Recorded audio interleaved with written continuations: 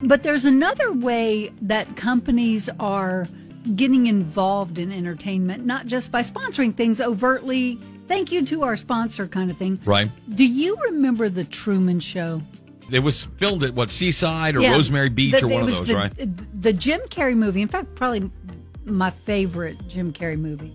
He was being he was a TV show, but no, he didn't know it, but everybody else did. And they would say, they were like, come on, Truman, you know you love this chock full of nuts coffee. And they would hold up the coffee can, and that was just his whole world. And so he didn't realize that he was being played until he realized he was being played. Right.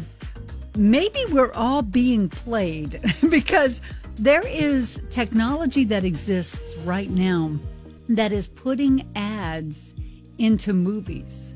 If somebody's sitting there reading a newspaper and they open up the newspaper, then the back of it might have an ad for something. Right. And they're subtly doing they're going through and they're and they're they're looking at all of the different places where they like you said put a coke can on a desk or Right. stuff like that where they can actually go in and place products in shows and films that have already been made. So it probably is not in, impossible to believe that with the technology that probably evolved from Photoshop, that you can go to film and stick the Coke can on the desk and keep it consistent through all of the different slides or, or you know whatever. Two words for you Forrest Gump.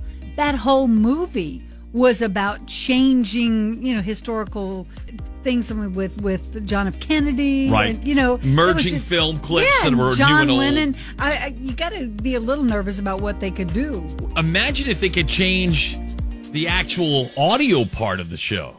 In a world where modern technology can insert product placements into classic films, the greatest movies of all time will forever be changed. I'm gonna make him an offer he can't refuse. It's a buy one, get one free deal at Payless. Your favorite films are now hawking your favorite brands.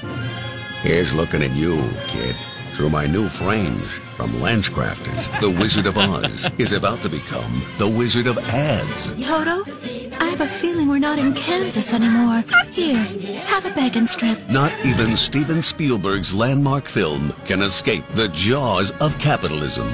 You're gonna need a bigger boat. Like Royal Caribbean Symphony of the Seas, now sailing out of Miami. Product placements coming soon to a classic film near you. You talking to me? You talking to me? Well, you better be using unlimited talk and text from T-Mobile.